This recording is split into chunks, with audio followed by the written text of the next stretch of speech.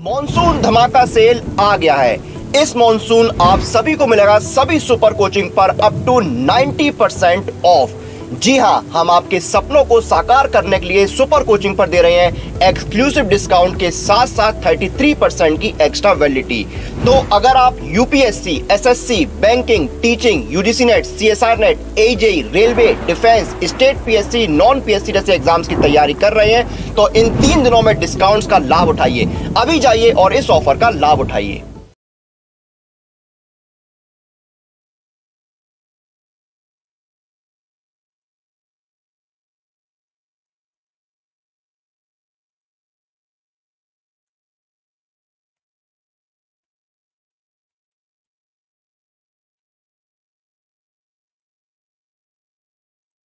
Yes hello good evening a very very good evening to all of you क्या हाल चाल हाँ जी। सभी लोग आ जाइए फटाफट से। Then we will start our session session को ज्वाइन करते जाइए और सेशन को शेयर करते जाइए। Yes like and share the session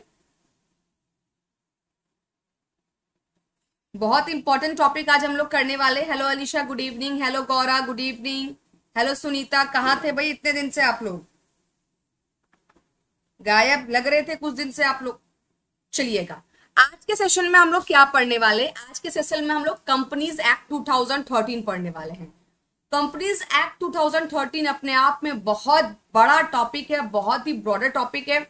exam में क्वेश्चन हर बार इससे आता है। हंड्रेड परसेंट ये श्योर शॉर्ट टॉपिक है जिससे एग्ज़ाम में आपके क्वेश्चन जो है, वो पूछे जाते हैं। Yes hello Urmi good evening yes Runa good evening good evening Ankita तो ये टॉपिक्स एग्ज़ाम में हमेशा आपके क्वेश्चन आते हैं। तो चलिए हम लोग स्टार्ट करते हैं। कंपनीज़ एक्ट 2013 अच्छा कंपनीज़ एक्ट 2013 में एक अमेंडमेंट भी हुआ है। आप लोग मेरे को बता सकते हैं कि वो अमेंडमेंट कब हुआ है?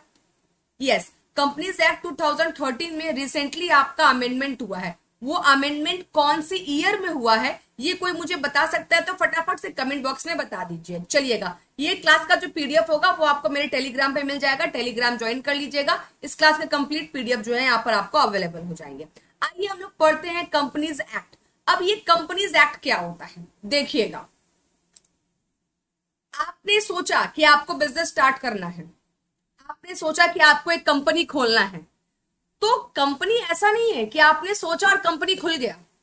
उसके लिए पूरा विधिवत रूप से फॉर्मेट बना है रूल रेगुलेशन बना है, उसके आर्टिकल्स बने हैं, उसके सेक्शन बने जिसमें सारी चीज़ें लिखी गई हैं कि अगर आपको ये कंपनी खोलना है तो क्या करना होगा, वो कंपनी खोलना है तो क्या करना होगा, पूरे डिटेल से सारा कुछ वहाँ पर आपका गिवन है।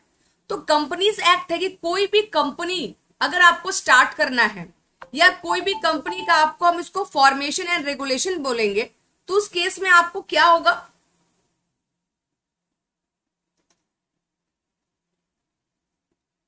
ठीक है ना? फॉर्मेशन एंड रेगुलेशन के बारे में अगर हम बात करें या कंपनीज़ को इनकॉर्पोरेट करने के बारे में बात करें तो कभी भी अगर आप सोच रहे हो कंपनी स्टार्ट करना है या कंपनी एक्सपेंड करना है कौन सा कंपनी ओपन करे तो ये सब कुछ हर एक क्लॉज जो है कंपनीज़ एक्ट 2013 में लिखा गया है। Companies act 2013 is a kind of आप बोल सकते जैसे कि हम लोग अगर एग्ज़ाम uh, आपको देना है तो बुक पढ़ना पड़ता है ना? वैसे कंपनीज़ अगर आप कंपनी स्टार्ट करना है तो कंपनीज़ एक्ट के अकॉर्डिंग आपको चलना पड़ेगा। कंपनीज़ एक्ट 2013 में हर एक चीज़ जो है यहाँ पर आपका मेंशन किया हुआ है। देखिएगा, सबसे पहले जो फ़र्स्ट कंपनीज़ एक्ट आया था, वो 1956 में आया था। आपको मैंने पता होगा कि अभी जो हम लोग पढ़ रहे हैं, वो क्या पढ़ रहे हैं? कंपनीज़ एक्ट 2013 पढ़ रहे हैं। ये कंपनीज़ एक्ट जो है ना, ये आपका बाद में आया 2013 बाद में आया। सबसे पहला जो कंपनीज़ एक्ट था, वो आपका उन्नीस सौ छप्पन था। जब मैंने बीकॉम पास किया तो मैंने उन्नीस सौ छप्पन वाला एक्ट पढ़ा है। क्योंकि उस समय तक वही चल रहा था। उसके बाद जो है आपका कंपनीज़ एक्ट 2013 आ गया।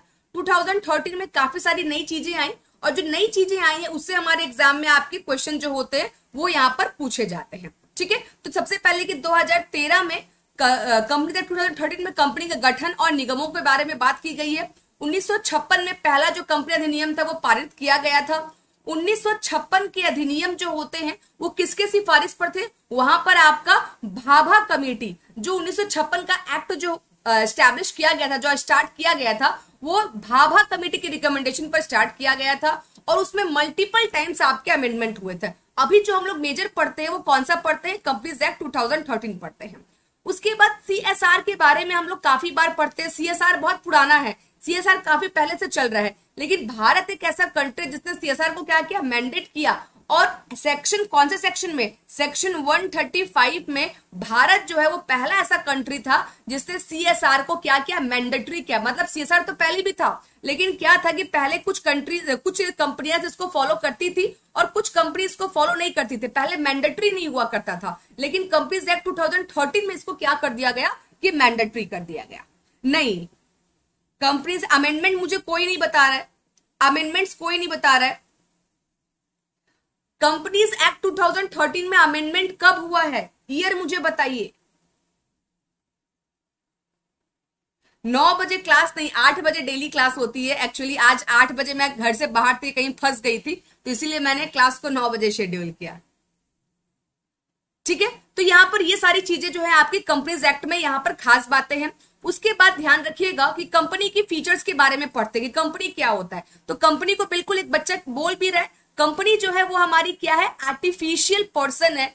और हम लोग क्या है, हम लोग जो है नेचुरल पर्सन है है ना? हम मैं, प्रियंका, पूजा, जगदीश, है ना? स्नेशनाथ, ये सभी कोई क्या है, हम लोग नेचुरल पर्सन है। और company is also a kind of person company का भी आपका अकाउंट ओपन होता है, कंपनी का भी पेन कार्ड बनता है। और कंपनी क्या होती है आर्टिफिशियल पर्सन होती है। तो कंपनी रन की जाती है किसके द्वारा? नेचुरल पर्सन के द्वारा रन की जाती है।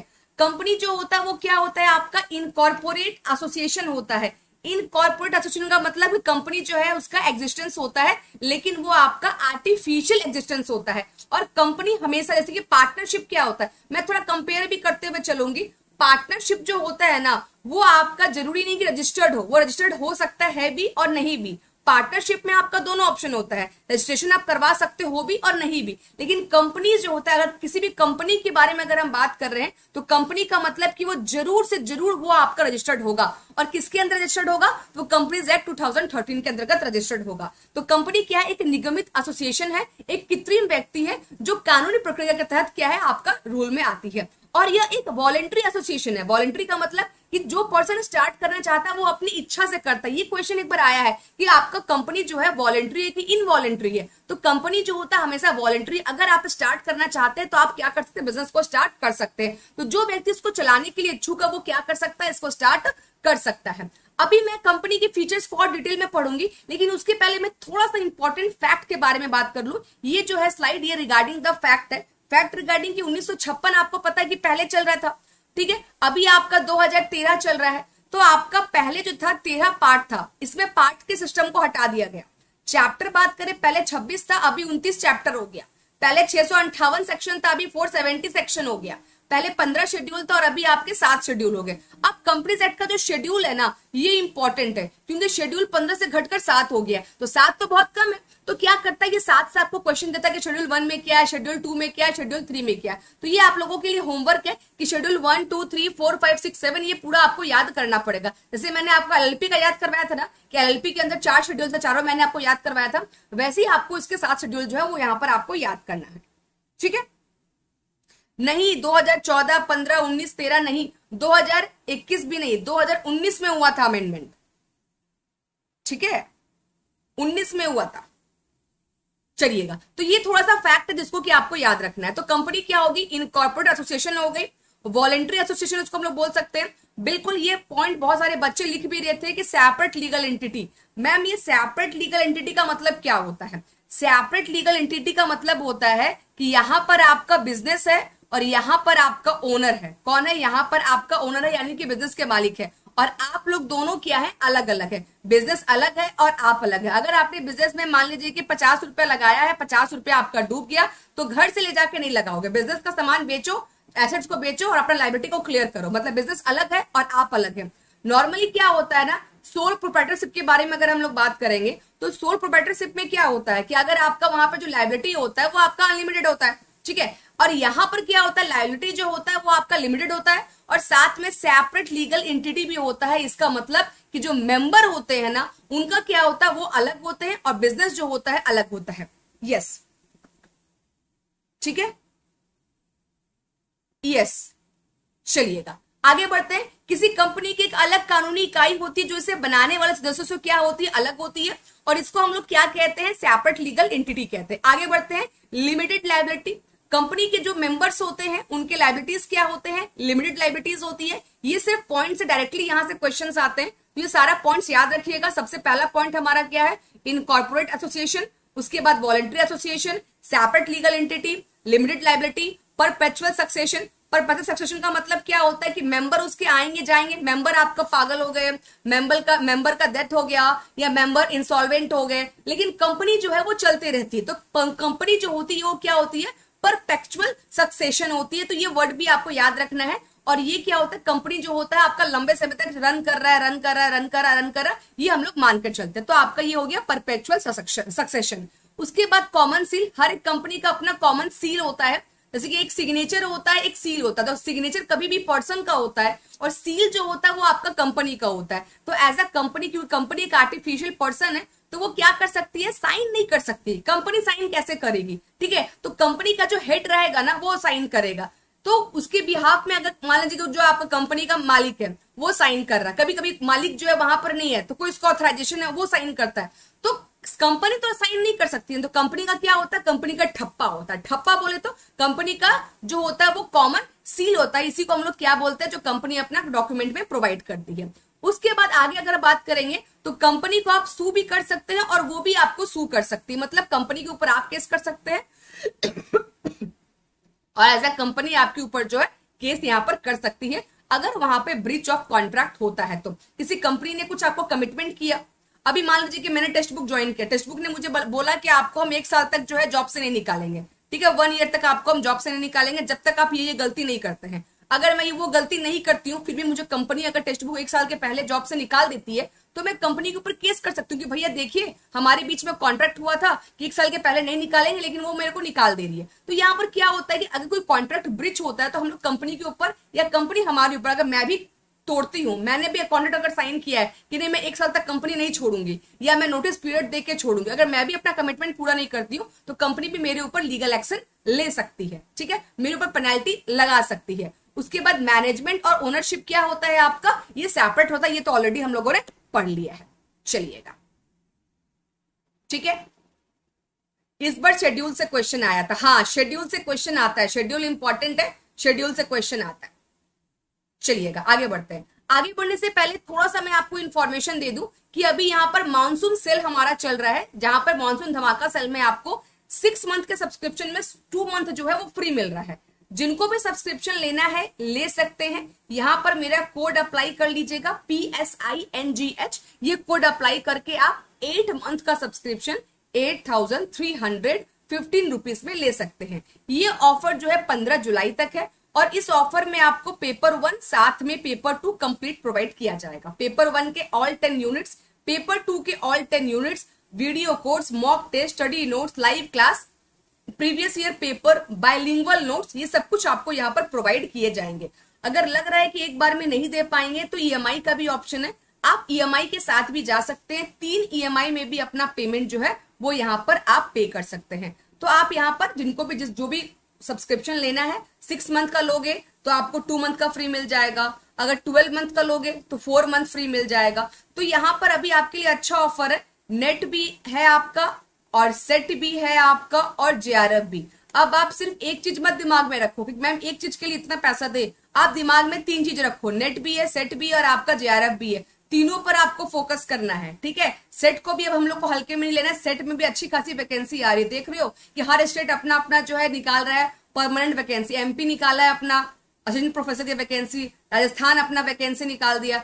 हर स्टेट धीरे धीरे अपनी वेस्ट बंगाल में भी वैकेंसी आने वाली है। तो हर स्टेट अपनी अपनी वैकेंसी भी निकाल रहा है तो वो सेट वाले को प्राथमिकता देंगे। तो सेट पर भी फोकस करो आप, और यहाँ पे सब्सक्रिप्शन लेके तीनों पर आप लोग कर सकते हो। जेआरएफ कर लोगे तो पीएचडी वाला रास्ता क्लियर हो जाएगा। सेट कर लोगे तो स्टेट वाला जो है, वहाँ पर जॉब आपका क्लियर हो जाएगा। और अगर नेट क्लियर हुआ है तो फिर आपका प्रोफेशनल रास्ता क्लियर हो जाएगा। तो यहाँ पे सबका अपना अपना यहाँ पर वैल्यू है। चलिएगा टाइप्स ऑफ़ कंपनी के ऊपर हम लोग आते हैं। चलिएगा। जरा मेरे को बताइएगा सबसे पहले कि यहाँ पर ये कंपनी लिमिटेड बाय शेयर क्या होता है और कंपनी लिमिटेड बाय गारंटी क्या होता है? ये दोनों में क्या डिफरेंस है? जरा मेरे को बताइएगा। अब हम लोग टाइप्स ऑफ़ कंपनी में आए तो कंपनी के तो इतने टाइप है कि अगर मैं सिर्फ़ आपको टाइप पढ़ाने लगू तो पूरा क्लास मेरा सिर्फ़ टाइप पर ओवर हो जाए। तो मैं आपको पूरा नहीं, लेकिन हाँ इन शॉर्ट में बताते हुए ज़रूर चलूँगी। ठीक है। वेरी गुड उज्जवल प्रकाश का आया है पूरा डिटेल मैसेज ठीक है? हाँ राजस्थान में तो एक ही बार धड़धड़ा के पूरी वैकेंसी आई है। चलिएगा, देखिएगा। तो यहाँ पर सबसे पहले अलग अलग टाइप पर बांटा गया है। आपको मैम क्या ये बेसिस याद करना पड़ेगा क्या? हाँ ये बेसिस भी आपको याद करना पड़ेगा। बेसिस से भी एग्ज़ाम में आपके क्वेश्चन आते हैं। सबसे पहले आपका बेस्ड अपन लाइबिलिटी लाइबिलिटी के बेस पर आपको तीन पार्ट में बांटा गया है। एक आपका लिमिटेड बाय शेयर और एक होता है लिमिटेड बाय गारंटी ये दोनों में डिफरेंस क्या होता है, ये मुझे कमेंट बॉक्स में बताइए।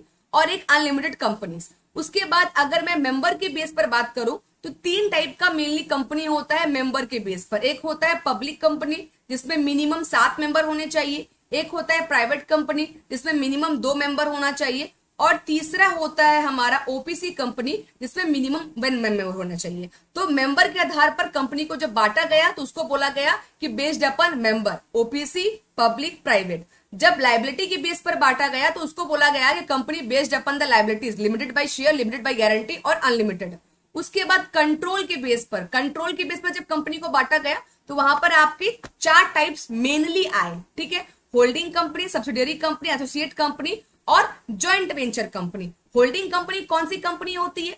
होल्डिंग कंपनी वो कंपनी होती है जो किसी कंपनी का 51 परसेंट फिफ्टी परसेंट से ज़्यादा शेयर अपने पास रखती है। सब्सिडरी कंपनी कौन होती है? अगर किसी कंपनी का 100 परसेंट शेयर है, अगर ए के पास 51 परसेंट मान लो कि ये कंपनी ए है, ठीक है, इसका 100 परसेंट शेयर है तो कंपनी बी ने क्या किया? उसका 51 परसेंट शेयर अपने पास ले लिया। तो बी हो गई होल्डिंग कंपनी ए हो गई सब्सिडरी कंपनी ठीक है?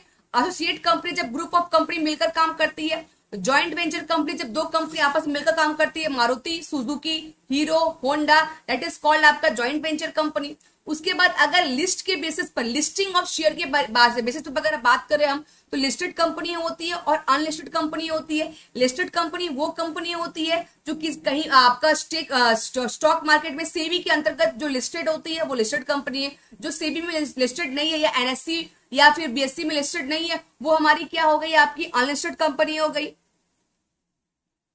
Yes company limited by share up to the nominal value of share and company limited by the share up to the guarantee given by member okay limited by share जितना share लिया है, उतना उतना liable है, और limited by guarantee जितने की guarantee ली है, उस तक लाइबल है। पूरा पूरा कंप्लीट आंसर निकल नहीं पा रहा है। आप लोगों के आंसर आए हैं, लेकिन मेरे को जो चाहिए, वो निकल नहीं पा रहा है।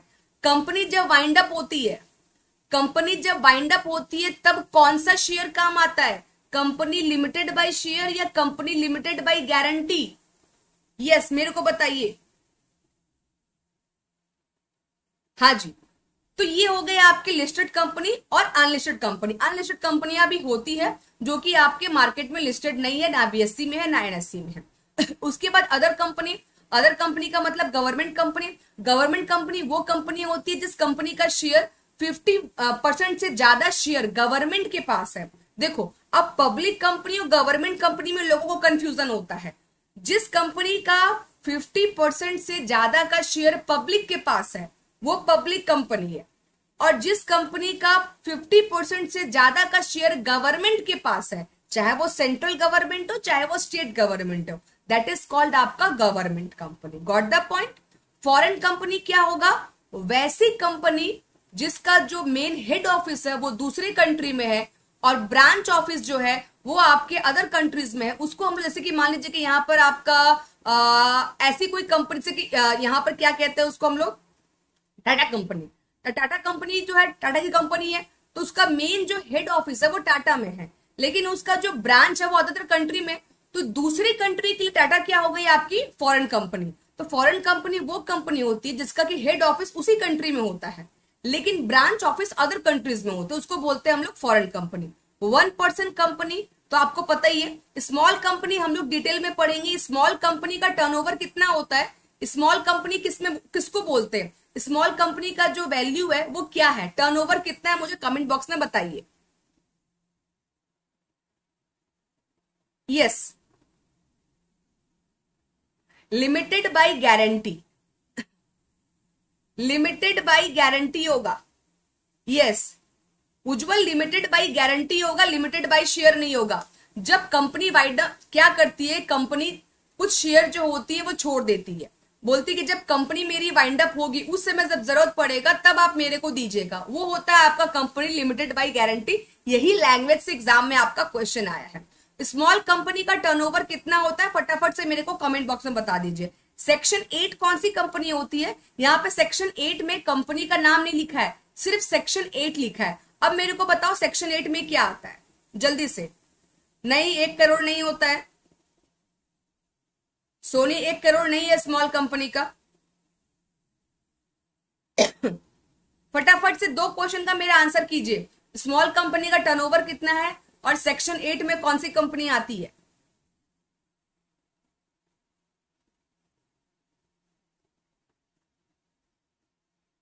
एक लाख नहीं एक लाख नहीं है। सेक्शन एट में आपकी डोनेशन कंपनी आती है। नहीं सेक्शन एट जो है, वो है आपकी डोनेशन कंपनी इसको डोनेशन कंपनी ही बोलते हैं ना। वो कंपनी जो आपका ट्रस्ट वगैरह जो होता है ना एनजीओ वगैरह, वो होता है सेक्शन एट एनपीओ हाँ एनपीओ यही वर्ड नहीं आ रहा था मेरे दिमाग में। एनपीओ नॉन प्रॉफिट ऑर्गेनाइजेशन जो होती है ना डोनेशन वाला हो गया डोनेशन कंपनी या ट्रस्ट कंपनी या कोई एनजीओ वो आपकी आती है सेक्शन एच में। ठीक है? हाँ एनपीओ या फिर एनजीओ जो भी बोल लो। डॉर्मेंट कंपनी क्या होती है? डॉर्मेंट कंपनी वो कंपनी होती है जिस कंपनी को हमने ओपन तो कर दिया है, लेकिन वो अभी रन नहीं कर रही है। मैंने कंपनी पेपर में ओपन कर दिया। पेपर में मेरी कंपनी का नाम यहाँ पर लिखा गया है। हाँ प्रियंका सिंह कंपनी, लेकिन एक्चुअली में कंपनी जो है फ़ील्ड में काम नहीं कर रही। कंपनी में कोई चीज़ का ट्रांजेक्शन नहीं हो रहा। कंपनी अपना बुक्स ऑफ़ अकाउंट्स मेंटेन नहीं कर रही है। That is called document dormant company producer company important नहीं है इन्वेस्टमेंट कंपनी इंपॉर्टेंट नहीं है। हाँ स्टेटरी कंपनी इंपॉर्टेंट है, इसको हम लोग बोलते हैं वैधानिक कंपनी वैधानिक कंपनी क्या होता है? वैसी कंपनी जिसको पार्लियामेंट एक्ट के तहत मान्यता दी गई है, उसको हम लोग बोलते हैं वैधानिक कंपनी जैसे कि आपकी LIC हो गई। LIC जो है हमारा, वो आ जाएगा स्टेटरी कंपनी में, यानी कि वैधानिक कंपनी में हमारा LIC आ जाएगा। ठीक है? अब देखिएगा स्मॉल कंपनी स्मॉल कंपनी का जो डेफिनेशन है, ये डायरेक्टली क्वेश्चन आपका सेक्शन एक बार एग्ज़ाम में पूछा है। टू सब सेक्शन एटी फाइव जो है, ये आपका स्मॉल कंपनी का सेक्शन है। स्मॉल कंपनी का आपका दो कंडीशन है। एक, उसका पेडअप कैपिटल जो है, वो आपका चार करोड़ से ज़्यादा नहीं होना चाहिए। ठीक है ना? पेडअप कैपिटल कितना नहीं होना चाहिए? चार करोड़ से ज़्यादा नहीं होना चाहिए। और टर्नओवर जो है, वो आपका चालीस करोड़ से ज़्यादा नहीं होना चाहिए। ये इसका आपका क्या है कंडीशन है, इसमें आपका अमेंडमेंट किया गया था और अभी चेंजेस हुआ है। पहले इसका दो करोड़ था पेडअप कैपिटल जो था, वो आप लोग जो एक करोड़ बोल रहे हैं ना, वो सबसे शुरू में एक करोड़ था। उसके बाद दो करोड़ हुआ। अब जाके ये जो पेडअप कैपिटल है, वो चार करोड़ हो गया। तो पेडअप कैपिटल चार करोड़ से ज़्यादा नहीं होना चाहिए और जो टर्नओवर है, वो फोर्टी करोड़ से ज़्यादा नहीं होना चाहिए। तब वो क्या कहलाएगा? स्मॉल कंपनी और ये बातें आपके जो है सेक्शन टू सब सेक्शन एटी फाइव में लिखी गई है। ठीक है? हाँ बिल्कुल। शेषनाथ चतुर्वेदी। शेषनाथ ही नाम है ना? हाँ बिल्कुल आपका बिल्कुल सही है कि जो आपका बाई पार्लियामेंट एक्ट के थ्रू जो बनाई गई है, वो आपकी होती है वैधानिक कंपनी। क्लियर है? चलिएगा। सेक्शन एट हो गया आपका एनपीओ एनजीओ ट्रस्ट इसको हम लोग बोलते हैं डोनेशन ये सब हो जाएगा हमारा सेक्शन एट में कंपनीज़ आ जाएगी। चलिएगा। प्राइवेट कंपनी और पब्लिक कंपनी का डिफरेंस होता समझ लीजिएगा। जो प्राइवेट कंपनी होती है ना उस पर पूरा कंट्रोल प्राइवेट का होता है। उसके ट्रांसफ़र जो होते हैं इजिली शेयरेबल नहीं होते। अगर किसी कंपनी का शेयर अगर ट्रांसफरेबल होगा, या कोई कंपनी अगर अपना शेयर पब्लिक को इश्यू कर सकती है, तब तो वो पब्लिक कंपनी हो जाएगी ना जी। तो सिंपल सी बात है, जो कंपनी अपना शेयर पब्लिक को इश्यू करती है, वो पब्लिक कंपनी और जो कंपनी अपना शेयर जो है पब्लिक को इश्यू नहीं कर रही है ट्रांसफ़र, ट्रांसफरेबिलिटी जो रहता है, वो क्या होता है? लिमिटेड होता है। तो उसको हम लोग क्या कहते हैं? प्राइवेट लिमिटेड कंपनी कहते हैं। इसके बाद अगर आपको private company private limited PVT LTD इसको हम लोग क्या लिखते हैं? अगर किसी भी कंपनी के एंड में पीवीटी एलटीडी लिखा गया ये ज़रूरी है कि अगर आप प्राइवेट कंपनी ओपन कर रहे हैं तो आपको कंपनी के एंड में पीवीटी एलटीडी लिखना ही लिखना है। अगर आप एलएलपी कंपनी स्टार्ट कर रहे हैं तो कंपनी के एंड में आपको एलएलपी वर्ड या लिमिटेड लाइबिलिटी वर्ड आपको लिखना ही लिखना है। अगर आप प्राइवेट कंपनी स्टार्ट कर रहे हैं तो मिनिमम आपके वहाँ पर कितने मेंबर होने चाहिए? मिनिमम हमारे दो मेंबर यहाँ पर होने चाहिए। दो मेंबर आपके यहाँ पर लिमिटेशन है। दो से कम मेंबर जो है, वो प्राइवेट कंपनी को स्टार्ट नहीं कर सकते। और अगर पब्लिक के बारे में बात करें तो मिनिमम सात मेंबर चाहिए। मैक्सिमम के बारे में बात करें तो प्राइवेट कंपनी में मैक्सिमम 200 मेंबर होने चाहिए और पब्लिक कंपनी में कोई लिमिटेशन नहीं है। अगर मैं डायरेक्टर के बारे में बात करूँ, एक सेकेंड हाँ अगर मैं यहाँ पर डायरेक्टर के बारे में बात करूँ डायरेक्टर कहीं लिखा है क्या? डायरेक्टर हाँ देखो, लिखा गया कि प्राइवेट कंपनी में मिनिमम टू डायरेक्टर चाहिए होते हैं और पब्लिक कंपनी में मिनिमम तीन डायरेक्टर चाहिए होते हैं। और अगर मैक्सिमम के बारे में बात करें तो यहाँ भी पंद्रह और यहाँ भी पंद्रह। ठीक है, यहाँ पर जो ये होते हैं, क्या बोलते हैं कंप्लाइंसेस होते हैं, वो बहुत कम कंप्लाइंसेस होते हैं, और आपका पब्लिक कंपनी में जो कंप्लाइंसेंस होता है, वो आपका बहुत ज़्यादा होता है। अगर मैं थोड़ा सा आपको डिटेल में बता दूँ तो एक हो गया आपका पब्लिक कंपनी एक हो गया आपका प्राइवेट कंपनी ठीक है, और एक हो गया आपका ओपीसी कंपनी अगर मिनिमम मेंबर के बारे में बात करें तो मिनिमम मेंबर इसका एक है, इसका सेवन है, और इसका दो है। अगर मैक्सिमम मेंबर के बारे में बात करूँ तो इसका मैक्सिमम मेंबर जो है, इसका एक ही होगा, इसका अनलिमिटेड हो जाएगा ओके और इसका आपका दो से दो सौ हो जाएगा। भाई, दो हज़ार क्यों हो जाएगा दो सौ हो जाएगा। अगर मैं मिनिमम डायरेक्टर के बारे में बात करूँ तो मिनिमम एक डायरेक्टर मिनिमम तीन डायरेक्टर और मिनिमम दो डायरेक्टर अगर मैं मैक्सिमम डायरेक्टर के बारे में बात करूँ तो पंद्रह पंद्रह और पंद्रह। अगर मैं सेक्शन के बारे में बात करूँ तो तीनों का सेक्शन आप बताओ जल्दी से। हाँ जी, तीनों का सेक्शन बताइए। मीनू राठौर मैक्सिमम पचास जो होते हैं, वो पार्टनरशिप में होते हैं। मैक्सिमम पचास मेंबर जो होता है ना, वो पार्टनरशिप में होता है। प्राइवेट कंपनी में मैक्सिमम आपके 200 मेंबर है। अब मेरे को सभी का सेक्शन बता दीजिए ना ओपीसी का सेक्शन क्या है? सबका सेक्शन तो टू ही है। सबका सब सेक्शन खाली मेरे को बता दो, फटाफट से। चलिएगा। कंप्लायंस का मतलब क्या होता है? कंप्लायंस का मतलब होता है रूल रेगुलेशन प्रोसीजर जैसे कि अगर मैं कंप्लायंसेस के बारे में बात करूँ तो मेरा जो पीपीटी है, देखना यहाँ पे लिखा रहेगा पी सिंह मेरा हर एक पीपीटी में लिखा रहेगा। यहाँ पे लिखा रहेगा मेरे टेलीग्राम का, यहाँ पर मेरा लोगो रहेगा। मैं जब भी क्लास लेती हूँ, मैं ये टी शर्ट पहनती हूँ। मैं घर का ड्रेस क्यों नहीं पहनती हूँ? हाँ क्यों? क्योंकि ये रूल रेगुलेशन है, ये कंप्लाइंसेस है कि इसको मेरे को फॉलो करना पड़ेगा। अगर मैं इस चीज़ को फॉलो नहीं करती हूँ तो मेरा जो मार्क्स है वो कट जाता है। मेरा परफॉर्मेंस जो होता है वो उस पर हम लोग जो भी क्लास लेते हैं या फिर जो भी आप लोग अपने फीडबैक देते हैं, वो सारा फीडबैक रिकॉर्ड होता है। उससे हमारा परफॉर्मेंस जो होता है वो मेजर होता है कि हाँ भाई ये फैकल्टी ठीक पढ़ा रहा है कि नहीं पढ़ा रहा है। बच्चों को पसंद आ रहा है कि नहीं आ रहा है। अगर बच्चों का डिमांड है तो क्लास बढ़ेगा, बच्चों का डिमांड नहीं है क्लास कम होगा। तो ये सब चीज़ें पूरी जो होती है, आपकी एक तरह से काम करती है। आप लोग का जो भी डाउट्स है, बच्चों को कितना समझ में आ रहा है, कितना अच्छा आप लोग का रिज़ल्ट हो रहा है, ये सारा कुछ देखा जाता है। उसके बाद जो होता है, वहाँ पर हमारा परफॉर्मेंस देखा है। तो हमारा परफॉर्मेंस कैसे देखेंगे कि हमारा जो एक टेक्स्ट बुक ने एक पैरामीटर हमें बना के दिया है कि भैया आपको बच्चे को ऐसे जो है कंटेंट लेकर जाना है, या आपको पीपीटी में ऐसे होना चाहिए, ये व्हाइट बैकग्राउंड होना चाहिए, ऊपर ब्लैक होना चाहिए फॉन्ट का साइज़ इतना होना चाहिए, बच्चों को समझ में आए। तो ये पूरा रूल रेगुलेशन है जिसको कि हम लोग को फॉलो करना पड़ता है। समझ में आया? यस yes, बिल्कुल एक लाइन में शेषनाथ ने बड़ा अच्छा एक वर्ड में बोल दिया कि सेट ऑफ़ प्रोटोकॉल मैंने तो इतना लंबा चौड़ा बोला ना।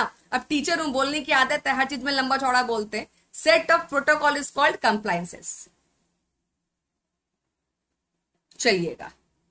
तो यहाँ पर हो गया 62 यहाँ पर हो गया 68 पब्लिक कंपनी का भी बता दीजिए। पब्लिक कंपनी का भी बता दीजिए। पब्लिक कंपनी का सेक्शन किसी ने नहीं बताया है। जल्दी से वो भी बता दीजिए।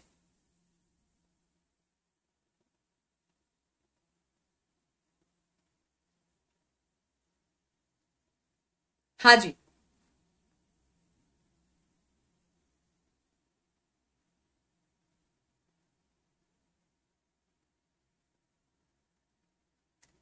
किसी का नहीं आया? चलिएगा सेवेंटी वन ठीक है?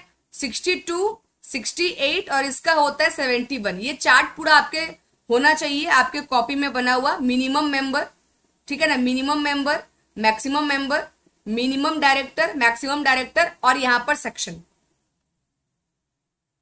पब्लिक का याद नहीं है। प्राइवेट से तीन ज़्यादा है, याद रखना, अड़सठ, इकहत्तर। पब्लिक से तीन ज़्यादा है। इतना तो याद रहेगा ना? 285 जो है वो स्मॉल कंपनी का है। 285 जो है, ये स्मॉल कंपनी का है और सेक्शन 8 जो है, ये आपका डोनेशन एनजीओ कंपनी का है, एनपीओ का, ठीक है? यस, रेनू, गुड इवनिंग, इतना लेट? चलिएगा आगे बढ़ते हैं। अब देखिएगा केएमपी। केएमपी क्या होता है, पता है? हाँ? केएमपी का मतलब पता है? केएमपी से एग्ज़ाम में क्वेश्चन आता है। Very very important. केएमपी से एग्ज़ाम में क्वेश्चन आपका आता है। केएमपी का मतलब क्या होता है? कि मैनेजेरियल पर्सन यहाँ पर आपका एग्ज़ाम में आता है कि which one is not the part of KMP कोई भी आपका कंपनी होता है तो उसमें कुछ ऐसे डेजिग्नेशन होते हैं, कुछ ऐसे पोजीशन होते हैं, जो कि फील आपको करना ही करना होता है। किसी भी कंपनी में ये जो होते हैं डेजिग्नेशन हमेशा वहाँ पर होते ही होते हैं। जैसे कि आपका CEO MD whole time director अब मैम, यहाँ पे सिर्फ़ डायरेक्टर क्यों नहीं लिखा है?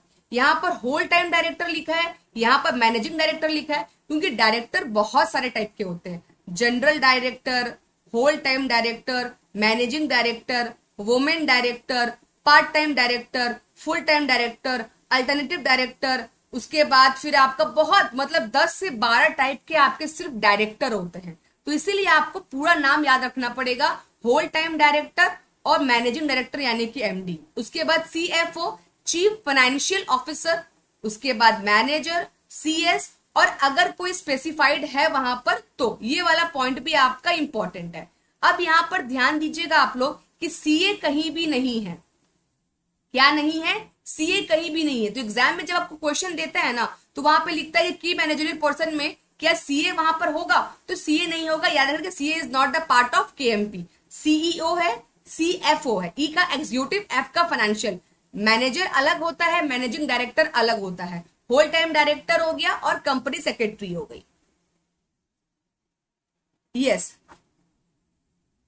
हाँ इन सब के द्वारा कोई कंपनी रन नहीं कर सकती. अगर आप कंपनी स्टार्ट करने के बारे में सोच रहे हो तो किसी भी कंपनी में ये सब डेजिग्नेशन होते हैं. यहाँ पर अगर आप पहुँच जाओगे ना तो बड़ा ही रिलैक्स है, खाली दिमाग चलाना पड़ता है, खाली दिमाग चलाओ आइडिया लाओ मार्केट में प्रोडक्ट लेकर आओ और मार्केट यहाँ पर चलाओ, इसी रूम में बैठे रहो और आइडिया पर आइडिया लेकर आते रहो। ओके? हाँ सीए मैंडेटरी नहीं है सीएस मैंडेटरी है। कंपनी सेक्रेटरी ठीक है ठीक है ठीक है? अंकिता, थोड़ा सा पीछे चल रहे हो क्या आप? अंकिता लाइव आ जाओ आप। चलिएगा आगे बढ़े हम लोग। आगे बढ़े, यहाँ तक क्लियर है सभी को? अब देखिएगा तो कंपनीज़ एक्ट 2013 में कुछ कुछ आपके हाईलाइट है।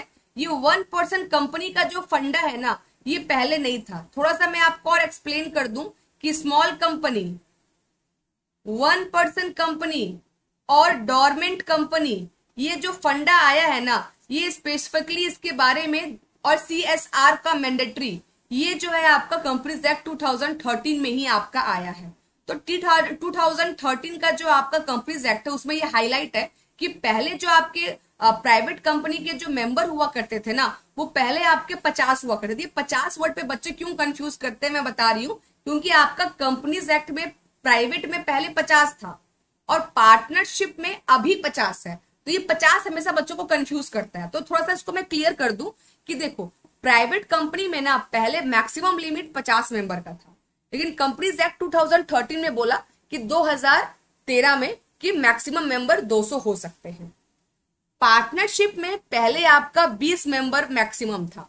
उसमें चेंज किया गया, बोला कि मैक्सिमम 50 मेंबर हो सकते हैं। तो वो 20 से 50 बना और ये 50 से 200 बन गया। अब याद रहेगा, वन पर्सन कंपनी, एक अकेला व्यक्ति भी कंपनी ओपन कर सकता है। लेकिन हाँ अगर आप स्टार्ट कर रहे हो तो आपको ओपीसी, प्रियंका कंपनी, ओपीसी, बगल में ऐसे लिखना पड़ेगा, आपको ओपीसी वर्ड लिखना पड़ेगा।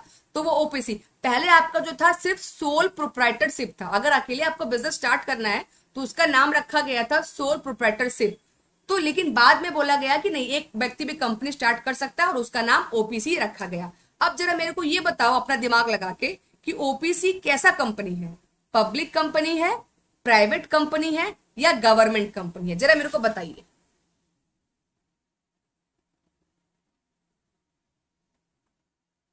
हाँ जी। मेरे को जरा बताइएगा ना। यस मेरे को जरा बता दीजिए एक बार कि ओपीसी कंपनी कैसा कंपनी है? पब्लिक प्राइवेट या गवर्नमेंट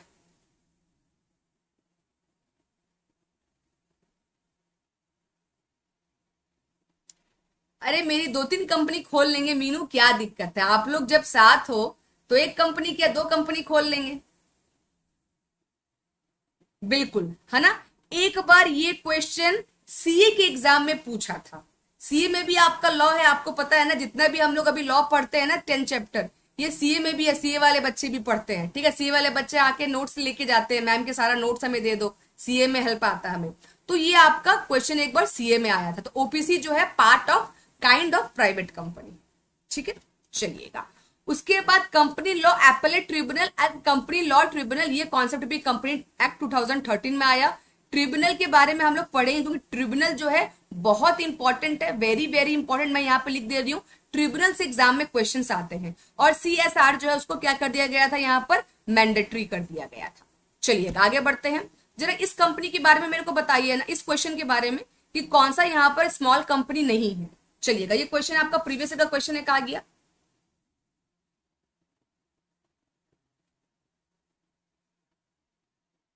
सबने इन्वेस्टमेंट करके रखा है। भैया इन्वेस्टमेंट कहाँ की हो? मेरे पास तो कुछ पैसा आया ही नहीं। हाँ? पैसा मेरे पास आया ही नहीं। इन्वेस्टमेंट कहाँ करके रखे हो? होल्डिंग कंपनी और सब्सिडरी कंपनी स्मॉल कंपनी नहीं हो सकती है। है ना? Registered company under section eight small company हो सकती है कि नहीं हो सकती है? बॉडी कॉर्पोरेट और ओपीसी कौन स्मॉल कंपनी नहीं हो सकती है? आपको ये बताना है।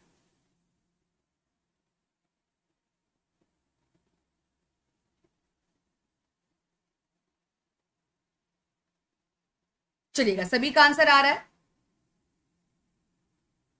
चलिएगा। होल्डिंग कंपनी जो होती है, वो उसका क्राइटेरिया अलग है। सब्सिडरी का क्राइटेरिया अलग है। सेक्शन एट में तो आपका एनपीओ आ रहा है, उसका क्राइटेरिया अलग है। जो स्मॉल कंपनी होती है ना, वो कैसी होती है तो वन परसेंट कंपनी को हम लोग स्मॉल कंपनी कैटेगरी में भी रखते हैं। तो स्मॉल कंपनी कोई होल्डिंग सब्सिडरी है ना? या सब्सिडरी या फिर गवर्नमेंट ऐसी कंपनी आपकी नहीं हो सकती। तो इसलिए यहाँ पर डी को खाली काट दो, क्योंकि डी हो सकता है, यहाँ पर कैन नॉट आपसे पूछ रहा है। तो option A B C will be the correct answer यानी कि ऑप्शन नंबर सी मेरी क्लास का टाइमिंग है डेली आठ बजे। अच्छा कल भी मेरा क्लास है, कल सैटरडे है। संडे को मैं खाली ऑफ़ दे रही हूँ आप लोग को। कल हमारा सैटरडे है। कल हमारा ओनली एमसीक्यू सेशन होगा। आपको पता है ना? सैटरडे को मैं स्पेशली एमसीक्यू सेशन करवाती हूँ। अच्छे कॉन्सेप्चुअल क्वेश्चन तो कल हमारा जो होगा तीस से चालीस क्वेश्चन हम लोग करेंगे। कितने बजे? कल भी हमारा आठ बजे क्लास होगा। ठीक है? चलिए आगे बढ़ते हैं। दूसरा क्वेश्चन इस एक मिनट ये जरा दिख नहीं रहा है, इसको जरा मैं छोटा कर लू। आप लोगों ने बोला नहीं कि मैम क्लियर स्क्रीन नहीं दिख रहा है।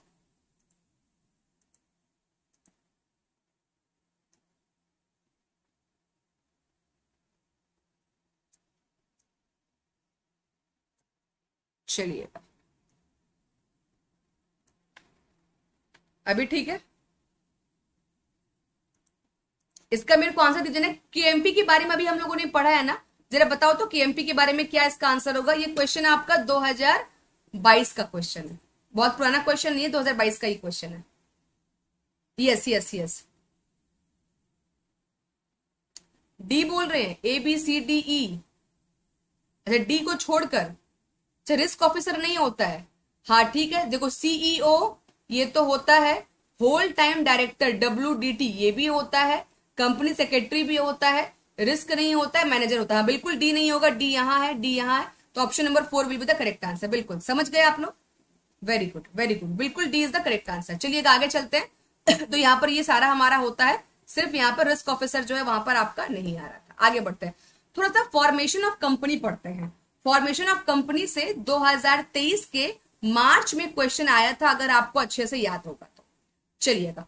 फॉर्मेशन ऑफ़ कंपनी का मतलब ही तो अभी तक तो हम लोगों ने कंपनी का इंट्रोडक्शन पढ़ा है। कंपनीज़ एक्ट बहुत बड़ा है। अभी तक जो मैंने आपको बताया है ना, वो कुछ नहीं है। बस वो कंपनी का इंट्रोडक्शन है, वो भी मैंने शॉर्ट में बताया। इसके डिटेल में जाओगे तो और लंबा है आपका। अब कोई कंपनी को अगर आपको फॉर्म करना है तो कितने स्टेज में फॉर्म होता है? कोई स्टेटस मेरे को बताएगा? Yes yes. कंपनी को फॉर्म करने के कितने स्टेज होते हैं? जरा मुझे कमेंट बॉक्स में बताइए। मैम आपकी सैलरी कितनी है? काइंडली टेल शेषनाथ सैलरी आपको क्यों जाननी है? सैलरी किसी भी चीज़ का ऐसे फिक्स नहीं होता। ये डिपेंड करता है कि टीचर का एक्सपीरियंस क्या है टीचर का क्वालिफिकेशन क्या है टीचर का प्रीवियस कंपनी में कितना सैलरी था। ठीक है तो काफ़ी सारी चीज़ें होती है। फ्रेशर है तो उनकी अलग सैलरी है। जो एक्सपीरियंस है, उनकी अलग सैलरी है गवर्नमेंट जॉब की अलग है प्राइवेट की अलग है। एमपी सेट के लिए क्लास लगाई एमपी सेट के बारे में मैं भी सोच रही हूँ। एमपी सेट का एग्ज़ाम अब नियर बाय आ गया, कुछ स्पेशल बच्चों के लिए देना पड़ेगा। चलिएगा। कितने स्टेजेस होते हैं? कहीं पर आपका तीन लिखा है, कहीं पर आपका चार लिखा है। देखिएगा। एक्चुअली में देखा जाए तो चार स्टेजेस होते हैं। कौन कौन से? तो ये है टोटल आपके चार स्टेजेस चलिएगा इसको अब हम लोग पढ़ना शुरू करते हैं। जरा मैं आ जाती हूँ, दाएँ बाएँ अपने आप को कर लू।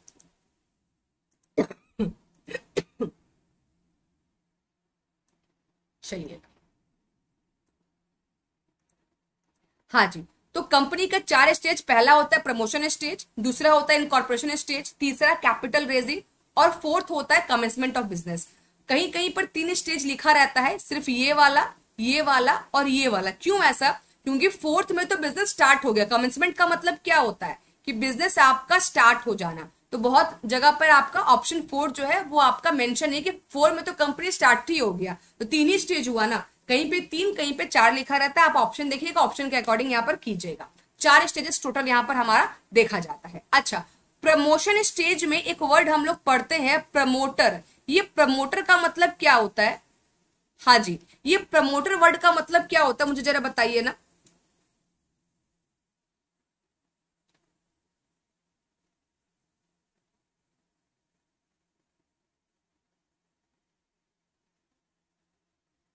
नहीं नहीं, एक लाख कहाँ चल जाएँगे? एक लाख नहीं है। ठीक है? चलिएगा। प्रमोटर, प्रमोटर्स हम लोग किसको बोलते हैं? तो सबसे पहले हम लोग समझते हैं कि प्रमोशन इन कॉर्पोरेशन पदोन्नति, निगमन और पूंजी की सदस्यता। ये आपके क्या होते हैं? आपके तीन स्टेजेस मेनली यहाँ पर देखा जा रहा है। सबसे पहले हम लोग जानते हैं कि प्रमोटर क्या होता है। प्रमोटर जो होता है वो कोई आपका इंडिविजुअल ग्रुप भी हो सकता है या इंडिविजुअल पर्सन भी हो सकता है। जो कंपनी का क्या लेता है? इनिशिएटिव लेता है। अगर आपको कंपनी स्टार्ट करना है तो कंपनी का आइडिया आया कि हाँ भैया कंपनी के स्टार्ट करना है अपने आप को तो जो पर्सन होता है, जो जिसके पास आइडिया आता है, जो कंपनी को स्टार्ट करने का इनिशिएटिव लेता है, जो देखता है कि बिज़नेस में मेरे पास क्या अपॉर्चुनिटी है सपोज़ दैट कि यहाँ पर हम लोग प्रमोटर ज़रूरी नहीं है। हाँ हिंदी में भी लिखा हुआ है।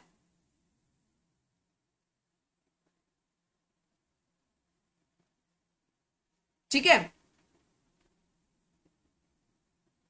ठीक है? यहाँ पर क्या होता है? हाँ ये जो जितना भी काम होता है प्रमोटर जो होता है कैपिटल भी लगाता है प्रमोटर जो होता है, वो आइडिया भी लेकर आता है प्रमोटर जो होता है, वो अपॉर्चुनिटी भी देखता है। मतलब आप बोल सकते हैं कि प्रमोटर जो होता है, वो व्यक्ति होता है जो बिज़नेस का इनिशिएटिव लेता है कि हाँ भाई बिज़नेस को स्टार्ट करना है, जो बिज़नेस को एग्जिस्टेंस में लेकर आता है, जो बिज़नेस में जितने भी स्टेप्स होते हैं नेसेसरी स्टेप्स जो होते हैं फॉर्मेशन के लिए, वो सारा स्टेप्स वो लेता है। तो ये ज़रूरी नहीं है कि हम लोग को लगता है कि प्रमोटर का मतलब एक व्यक्ति। प्रमोटर जो है ग्रुप ऑफ़ पर्सन भी हो सकता है। तो यानी प्रमोटर जो है, वो व्यक्ति भी हो सकता है और व्यक्तियों का समूह भी हो सकता है जो जो कंपनी को अस्तित्व में लाने की पहल करता है और गठन के लिए क्या करता है कि आवश्यक कदम उठाता है। Promoter play a crucial role in the pre incorporation stages company को स्टार्ट करने के पहले जो एक्सपेंसेस होता है प्रमोटर का काम क्या है? अभी कंपनी स्टार्ट नहीं हो देखो, प्रमोशन जो स्टेज होता है ना, यहाँ पे तो आपका पेपर वर्क डॉक्यूमेंटेशन ये सब होता है। इन कॉर्पोरेशन स्टेज जो होता है, यहाँ पर कंपनी इनकॉर्पोरेट होती है। तो जरा मेरे को बताओ कि कंपनी के इनकॉर्पोरेट होने से पहले के जो खर्चे होते हैं, उस खर्चे को क्या बोलते हैं?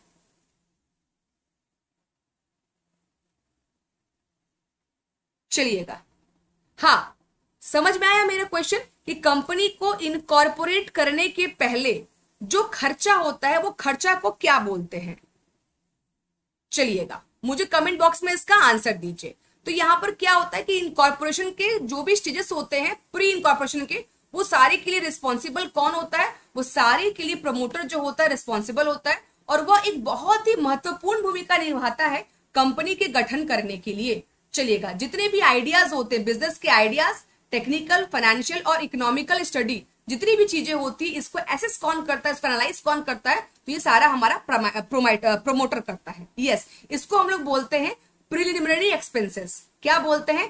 प्रीलिमिनरी एक्सपेंसेस जो कंपनी को स्टार्ट करने से पहले होते हैं पेपर वर्क हो गया सील का खर्चा हो गया स्टैम्प का खर्चा हो गया है ना? जितने भी खर्चा एमओए बनवाने का खर्चा डीएसटी लेने का खर्चा डीआईएन लेने का खर्चा ये सारे खर्चे जो होते हैं ये हमारे प्रिलिमिनरी एक्सपेंसेस में आपके आ जाते हैं। प्रमोटर जो होता है, वही कंपनी का एक नेम भी चूज़ करता है। हर कंपनी का एक नाम होता है ना। वो नाम किसके पास जाके आपको करना पड़ता है? आरओसी के पास जाके नाम का रजिस्ट्रेशन करवाना पड़ता है। तो वो नाम जो होता है सुटेबल नेम को चूज़ करना और उसके लिए अप्लाई करना, ये काम भी आपका प्रमोटर का होता है। उसके बाद एमओ ए और ए का डॉक्यूमेंट को रेडी करना, ये भी काम किसका होता है? प्रमोटर का होता है। उसके बाद इस पे जो साइन होता है जितने भी प्रमोटर होंगे एम ओ ए पर और ए ओ ए पर जो साइन होगा, वो किसका होगा? आपका प्रमोटर का होगा। तो हम लोग एक भाषा में बोल सकते हैं, कुल मिलाकर हम ये बोल सकते हैं कि प्रमोटर जो होता है, वो बिज़नेस को आकार देता है, अवसर की पहचान करता है कंपनी के गठन की नींव रखता है और इसके लिए क्या होता है, वो उत्तरदायित्व होता है। मैं इतना डिटेल में आपके लिए बस इसीलिए लेकर आई हूँ, क्योंकि यहाँ से डिटेल में क्वेश्चन आता है। प्रमोटर के बारे में क्वेश्चन एग्ज़ाम में पूछा जाता है।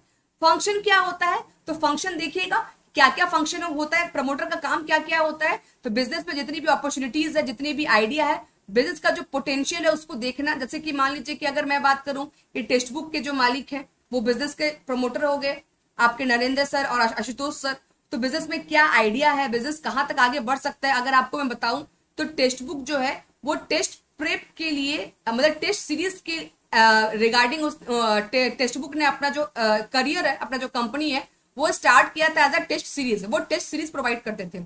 वहाँ से धीरे धीरे धीरे धीरे धीरे धीरे धीरे धीरे, आज जाकर अगर आप टेक्स्ट बुक का ऐप देखोगे ऐप में कोर्स का सेक्शन में जाना स्क्रॉल करते करते हाथ थक जाएगी, इतने सारे कोर्सेस वहाँ पर ऐड इतने सारे कोर्सेस की पढ़ाई हो रही है। और जो कोर्स का जो चार्जेस है, वो बहुत ही आपका नॉमिनल चार्जेस है, ठीक है? नॉमिनल चार्जेस में याद आ गया मेरे को, एक चीज़ का, अगर कोई बच्चा बिहार शिक्षक भर्ती की तैयारी कर रहा है पीजीटी कॉमर्स की तो वो कोर्स ले सकता है।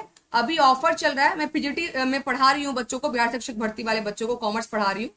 तो उसका कोर्स का प्राइस आपका 870 के आसपास है। पूरा कोर्स ही आठ सत्तर रुपए में है। तो कोई अगर बिहार शिक्षक भर्ती का फॉर्म भरा है ना तो वो ये वाला कोर्स परचेस कर सकता है। आठ सत्तर में पूरा का पूरा कोर्स आपको मिल जाएगा। और ई e का किसी ने अगर अकाउंटेंट का फॉर्म भरा है तो उसका क्लास कल से स्टार्ट हो रहा है। उसका प्राइस जो है आपका सेवनटीन नाइनटी नाइन ये दोनों यहाँ पर है। बिहार शिक्षक भर्ती का एग्ज़ाम अगर निकाल लोगे डायरेक्ट आपका जॉब हो जाएगा। या हमारे से अकाउंटेंट का जॉब निकाल लोगे एग्ज़ाम निकाल लोगे, तुरंत आपका जॉब हो जाएगा। तो ये जो खर्चा है ना, ये डायरेक्टली आपका जॉब के पर्पज से है। तो सेवन नाइनटी नाइन और एट सेवेंटी दोनों कोर्स यहाँ पर अवेलेबल है, क्योंकि अभी ऑफ़र चल रहा है तो इसका प्राइस भी बहुत लो हुआ है। जिसको भी लेना है, ले लीजिएगा, अभी याद आया तो मैंने मैंने आपको बता दिया। ठीक है? हम्म। चलिए, आगे बढ़े हम लोग। चलिए आगे बढ़ते हैं। तो ये क्या हो गया? जितनी भी अपॉर्चुनिटी जितने भी आइडियाज़ है, ये सब कुछ का, काम किसका होता है आपका? प्रमोटर का होता है। उसके बाद फिर क्या है? नाम का अप्रूवल ये काम भी किसका होता है? ये फ़ंक्शन भी किसका है? ये फ़ंक्शन भी आपका प्रमोटर का है कि नाम को सेलेक्ट करना।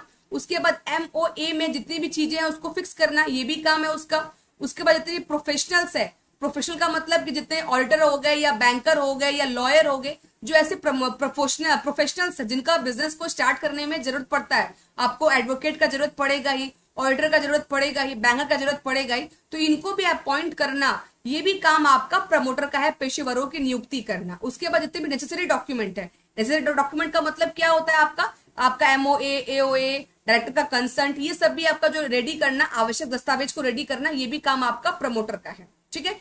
ये भी हम लोग बोल सकते हैं कि कंपनी का पूरा का पूरा फॉर्मेशन करने का काम, पूरा की पूरी रिस्पॉन्सिबिलिटी जो है, वो किसका है? आपका प्रमोटर का है। ठीक है?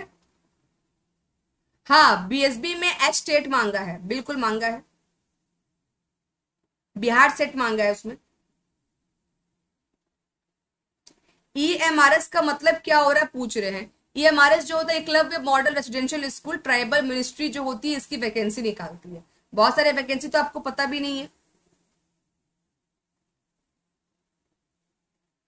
अच्छा ऑलरेडी आप गवर्नमेंट स्कूल में हैं शेषना तब तो बहुत अच्छी बात है। गवर्नमेंट स्कूल में है, तब तो बहुत अच्छी बात है। किस क्लास को पढ़ाते हैं? अगर आप पीजीटी लेवल पर पढ़ा रहे हैं तो फिर क्या दिक्कत है? असिस्टेंट प्रोफेसर बन के आप वही पढ़ाएँगे। हायर के बच्चे को भी स्कूल में अगर आप परमानेंट जॉब है, आपका गवर्नमेंट का है पीजीटी लेवल पर पढ़ा रहे हो तो बहुत अच्छी बात है। यहाँ से अगर आपका प्रमोशन होगा तो और आगे जल्दी जल्दी आगे बढ़ते जाओगे आप। अगर किसी का पीईटी लेवल पर स्टार्ट पीआरटी लेवल बहुत नीचे हो जाता है पीआरटी लेवल पर प्रमोशन होते होते बहुत टाइम लग जाता है। लेकिन कोई अगर पीजीटी लेवल पर गवर्नमेंट स्कूल में घुस गया है ना तो फिर आगे प्रिंसिपल तक और उसके ऊपर तक का जो स्कोप है, बड़ा क्लियर है कि आराम से वो किसी स्कूल का प्रिंसिपल तक तो आराम से अपना बनी जाएगा।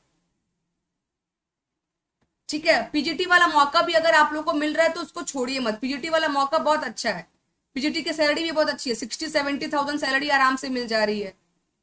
और असिस्टेंट प्रोफेसर बनोगे तो हाँ असिस्टेंट प्रोफेसर में क्या है कि कॉलेज में पढ़ाने का मौका मिलेगा और पीजीटी में आपको स्कूल में पढ़ाने का मौका मिलेगा। डिफरेंस बस यही होता है। चलिए आगे बढ़ते हैं। थोड़ा सा हम लोग डिफरेंस को समझ लेते हैं कि ये आर्टिकल एओए और एमओए क्या होता है, इसके बारे में थोड़ा सा हम लोग डिफरेंस को समझ लेते हैं। देखिएगा। एमओए का मतलब क्या होता है कि कोई भी कंपनी होती है, जब भी कंपनी का फाउंडेशन होता है, यानी कभी कभी कोई कंपनी का गठन होता है तो उसके लिए दो डॉक्यूमेंट जो होते हैं वो नेसेसरी होते हैं एमओए और एओए लेकिन एमओए जो होता है, ये हमारा प्राइमरी डॉक्यूमेंट होता है मेमोरेंडम ऑफ़ एसोसिएशन इसमें क्या होता है, इसमें कंपनी का जो भी डिटेल होता है कंपनी का नाम कंपनी क्या बना रही है कंपनी का कैपिटल कितना है कंपनी के पार्टनर कौन कौन से होंगे कंपनी के पार्टनर का एड्रेस क्या होगा मैक्सिमम शेयर कैपिटल कितना होगा, ये सारी चीज़ें जो होती है एमओए में दी हुई होती है। इसीलिए इसको हम लोग प्राइमरी डॉक्यूमेंट बोलते हैं। उसके बाद आता है आपका एओए एओए का मतलब होता है आर्टिकल ऑफ़ एसोसिएशन ये हमारा सेकेंडरी डॉक्यूमेंट होता है। आपके डायरेक्टर का क्या रूल रेगुलेशन है? डायरेक्टर का क्या ड्यूटीज़ है रिस्पॉन्सिबिलिटी है? इंप्लॉय का क्या ड्यूटीज़ रिस्पॉन्सिबिलिटी है? कंपनी का क्या रूल एंड रेगुलेशन है? ये सारी कुछ चीज़ें आपकी एओए जो है, वो दी होती है। इसीलिए हम लोग क्या कहते हैं? इसीलिए हम लोग क्या कहते हैं कि एम ओ ए जो होता है, ये फंडामेंटल डॉक्यूमेंट होता है। देखो, यहाँ पे लिखा भी होगा कहीं पर कि ये फंडामेंटल डॉक्यूमेंट होता है और ये कॉम्प्लीमेंट्री होता है। A O A is a part of M O A और ये जो भी आप बनाओगे एम ओ ए चाहे ए ओ ए इसके लिए आपको कंपनीज़ एक्ट 2013 को फॉलो करना पड़ेगा। कंपनीज़ 2013 के बियॉन्ड जाके आप ये दोनों डॉक्यूमेंट नहीं बना सकते हो, ये इसका रूल है। उसके बाद ये बनाना जो है आपका कंपलसरी है। एमओए आपको बनाना ही बनाना पड़ेगा। ये कंपलसरी होता है आपका। उसी के बाद इसमें कुछ अगर चेंजेस करना है तो इसको चेंज करना डिफ़िकल्ट होता है, क्योंकि ये प्राइमरी डॉक्यूमेंट है। इसको चेंज करने का प्रोसेस भी बहुत लंबा चौड़ा होता है। लेकिन अगर ए ओ ए में कोई चेंज करना है तो ए थोड़ा सा इजी होता है क्योंकि कंपनी का ये इंटरनल होता है। ए जो होता है, क्या होता है? इंटरनल आपकी सारी इंफॉर्मेशन होती है तो वो आपके हाथ में होता है कंट्रोल में होता है, उसको आप चाहो तो चेंज कर सकते हो। उसके बाद यहाँ पर एमओ ए जो होता है, वो उसको चार्टर हम लोग कंपनी बोलते हैं, है ना? चार्टर ऑफ़ कंपनी बोलते हैं, और ए जो होता है, वो हमारा क्या होता है? गवर्निंग बॉडी होता है, यहाँ पे राइट्स और ड्यूटी जो होता है, यहाँ पर दिया रहता है। इसका कोई स्पेसिफिकेशन नहीं है, इसका स्पेसिफिकेशन है और कंपनीज़ एक्ट के अंदर इसको हम लोग बनाते हैं और इसको हम लोग एमओ ए और एओ के अंतर्गत इसको बनाते हैं। चलिएगा। मैनेजमेंट ऑफ़ कंपनी थोड़ा सा यहाँ से स्टार्ट करते हैं हम लोग। टाइम तो हमारा 52 हो गया। अभी इस टॉपिक को मैं स्टार्ट करूँ? अभी तो बहुत ज़्यादा बचा हुआ है।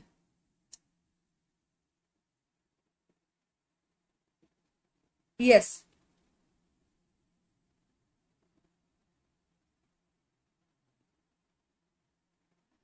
कॉलेज में बर्डन कम है। बर्डन तो यहाँ पर बर्डन तो स्कूल में है ही बहुत ज़्यादा। कॉलेज में भी बर्डन है, शेषनाथ, ऐसा मत समझिए कि कॉलेज में बर्डन नहीं है। कॉलेज में जो है क्लरिकल वर्क और टीचिंग वर्क दोनों करना पड़ता है।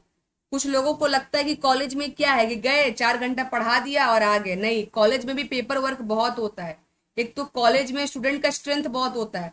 चार सौ मैं जिस कॉलेज में थी, वहाँ पे साढ़े सात सौ बच्चे का स्ट्रेंथ था। साढ़े सात सौ में सिर्फ़ दो सेक्शन बनाया था। एक सेक्शन में तीन सौ, साढ़े तीन सौ बच्चे थे, सोचो। उतने अधिक अधिक बच्चे, उनका सबका अटेंडेंस लेना पेपर चेक करना प्रोजेक्ट देना असाइनमेंट लेना मिड टर्म लेना सेमेस्टर लेना कॉपी चेक करना प्रोजेक्ट का मार्क्स देना रिपोर्ट कार्ड बनवाना एडमिट कार्ड देना, उनका एग्जामिनेशन जो है पेपर चेक करना, उसको वेरीफाई करना। ठीक है, बहुत चीज़ होता है। कॉलेज का भी कम मत समझो कॉलेज में भी बहुत पेपर वर्क है। चलिएगा। हाँ जी, आगे बढ़ते हैं। तो एमओए और एओए का क्लियर है आपको कि एमओए क्या होता है? उसमें कंपनी के जो होते हैं, पूरी डिटेल दी होती है और एओए में रूल रेगुलेशन लीगल स्पेसिफिकेशन जो होता है, वो आपका एओए में दिया रहता है। गवर्नमेंट कॉलेज में तो बर्डन ज़्यादा होता है। प्राइवेट कॉलेज में थोड़ा सा कम है। गवर्नमेंट कॉलेज में तो पेपर वर्क मेरे को लगता है कि और भी ज़्यादा है। पता नहीं मैं तो गवर्नमेंट कॉलेज में ही थी, मेरे को तो बहुत बर्डन लगा भाई काम का वहाँ पे। चलिएगा आगे बढ़ते हैं। अब आते हैं आपका management of company management of company के बारे में जब भी हम लोग बात करते हैं तो इसमें आपका डायरेक्टर आता है। अब ये डायरेक्टर क्या क्या होता है? जैसा कि हम लोगों ने बात की कि डायरेक्टर का मतलब क्या होता है। अब कंपनी जो है, वो तो आर्टिफिशियल पर्सन है। तो कंपनी हर जगह तो खुद साइन नहीं कर सकती है। तो कंपनी का जो सबसे हेड होता है, जो कंपनी का अपना कॉमन सील होता है, लेकिन कभी भी देखिएगा कि कोई भी कॉमन सील होगा ना, उसके ऊपर एक सिग्नेचर ज़रूर होगा। कभी भी सिर्फ़ सील नहीं होगा, उसके ऊपर एक छोटा सा आपको सिग्नेचर जो होगा, वो ज़रूर वहाँ पर किया हुआ रहता है। तो कंपनी जो होती है, वो क्या होती है? आर्टिफिशियल पर्सन होती है। तो आर्टिफिशियल पर्सन का कॉमन सील होता है। लेकिन उसके ऊपर जो होता है, एक सिग्नेचर का ज़रूरत पड़ता है, और सिग्नेचर कौन करता है? जो उसके लिए पूरी तरह से रिस्पॉन्सिबल है। उसको हम लोग क्या कहते हैं यहाँ पर? आपका डायरेक्टर डायरेक्टर जो होता है, वो क्या होता है? उसके बारे में बातें जो है आपका सेक्शन टू और सब सेक्शन थर्टी फोर में कही गई है कि डायरेक्टर का मतलब होता है आपका appointment of the board of the company यानी कि बोर्ड ऑफ़ डायरेक्ट जब भी हम लोग डायरेक्टर बोलते हैं ना तो डायरेक्टर कभी भी अकेला पर्सन नहीं होता। डायरेक्टर का मतलब हमेशा होता है बोर्ड ऑफ़ डायरेक्टर यानी वहाँ पे ग्रुप ऑफ़ पर्सन जो होते हैं, वहाँ पर आपके होते हैं। उसके बाद एक होता है मैनेजिंग डायरेक्टर उसके बाद होता है होल्ड एंड डायरेक्टर उसके बाद आपका अलग अलग और भी टाइप होते हैं. अल्टरनेटिव डायरेक्टर वुमेन डायरेक्टर बहुत सारे टाइप्स के आपके डायरेक्टर होते हैं. डायरेक्टर का क्वालिफिकेशन क्या होता है कि कोई भी स्पेसिफिक क्वालिफिकेशन नहीं दिया है. क्वालिफिकेशन से एक बार एग्ज़ाम में क्वेश्चन आपका आया था कि डायरेक्टर बनने के लिए क्या क्वालिफिकेशन है. पोस्ट ग्रेजुएट होना चाहिए कि एमबीए होना चाहिए. लेकिन कोई भी कंपनीज़ एक्ट 2013 में कोई भी क्वालिफिकेशन नहीं दिया गया है कि एज अ डायरेक्टर आपके पास क्या क्वालिफिकेशन होना चाहिए. बस यहाँ पर यह है कि जो डायरेक्टर है, उसके पास डी आई एन नंबर होना चाहिए। अगर आपके पास डी आई एन नंबर नहीं है तो आप किसी भी कंपनी के जो डायरेक्टर है, वो आप नहीं बन सकते। डी आई एन का फुल फॉर्म क्या होता है? डायरेक्टर आइडेंटिफिकेशन नंबर वो आपको एक बार ला, जैसे कि हमारा आधार कार्ड होता है ना, हमारा आइडेंटिफिकेशन नंबर वैसे डायरेक्टर का भी आइडेंटिफिकेशन नंबर होता है डीआईएन नंबर उसके थ्रू क्या करते हैं? किसी भी कंपनी में डायरेक्टर अगर उसको बनना है तो उसके पास वो होना ज़रूरी है। अगर वो उसके पास नहीं है तो वो किसी कंपनी में डायरेक्टर नहीं बन सकता है। तो ये आपका क्वालिफिकेशन के बारे में अच्छा उसके बाद ड्यूटीज़ है तो कुछ उसके जनरल पावर होते हैं, कुछ उसके स्पेशल पावर होते हैं। इसको हम लोग आगे के क्लासेस में कंटिन्यू करेंगे, क्योंकि अभी डायरेक्टर बहुत लंबा चौड़ा टॉपिक है। अभी कंप्लीट हो नहीं पाएगा टाइम हमारा अप हो गया है। तो मेरे को लगता है कंपनीज़ एक्ट का मेरे को पार्ट टू लेकर आना पड़ेगा। तो मैं देखती हूँ अगर पॉसिबल होता तो मैं कंपनीज़ एक्ट का पार्ट टू लेकर आऊँगी, जहाँ पर मैं टाइप्स ऑफ़ डायरेक्टर अभी मेरा बचा है ड्यूटीज़ पावर्स बचा है ट्रिब्यूनल बता है, और फिर कंपनी जब बंद होगी तो कैसे कैसे बंद हो सकते हैं तो कंपनी का काफ़ी सारा पार्ट बचा है तो मैं इसका पार्ट टू आपके लिए लेकर आऊँगी। इस मंथ इस वीक तो नहीं हो पाएगा इस मंथ वीक का ऑलरेडी क्लास शेड्यूल है। आपको बाद में आगे आने वाले वीक में इसके क्लासेस जो है, वो अवेलेबल हो जाएँगे, ठीक है?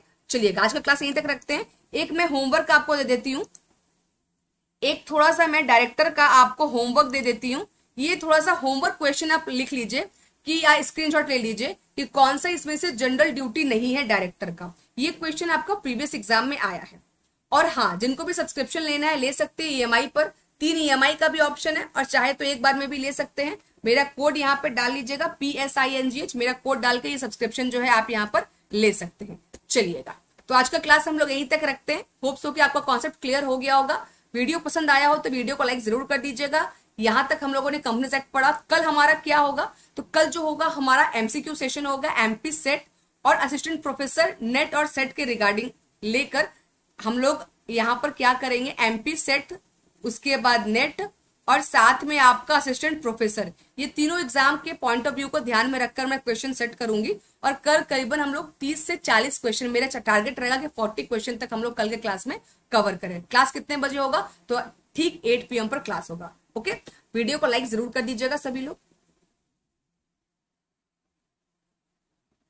क्वेश्चन का आंसर भी दिख गया गलती से, ठीक है?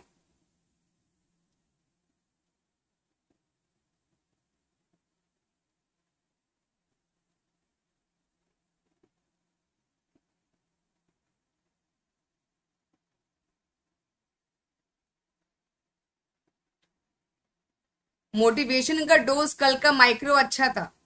अच्छा क्वेश्चन दिखा नहीं, मैं आपके पीछे छुपी हुई थी। एक मिनट, रुकिए रुकिए रुकिए रुकिए। मैं अपने आप को हाइड कर ले रही हूँ। अभी देखो क्वेश्चन दिख रहा है। चलिए, तब तो अच्छा है। क्वेश्चन अगर नहीं दिखा तो आंसर भी आपको नहीं दिखा होगा। हाँ जी। चलिएगा तो आज का क्लास हम लोग यहीं तक रखते हैं। इसका आंसर आप लोगों को सभी को कमेंट बॉक्स में देना है, okay? Bye take care all the very best